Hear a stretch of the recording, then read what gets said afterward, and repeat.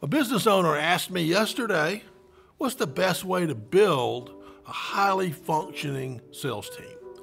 Loaded question because, of course, I know the answer and I can help you if you need help. It's only three things. Number one, you need to hire local, right? You don't want to be hiring people from all over the world to come work for you in sales in wherever you live, knowing that the odds are they're probably going to move away. So if you're trying to hire people to all kind of work in one place, then you want to get them local. It also helps with the culture building to kind of have people from the similar schools uh, kind of all working for you versus people from all over the world. Uh, the second thing is you want to profile what you want that person to have done, right? Were they athletic?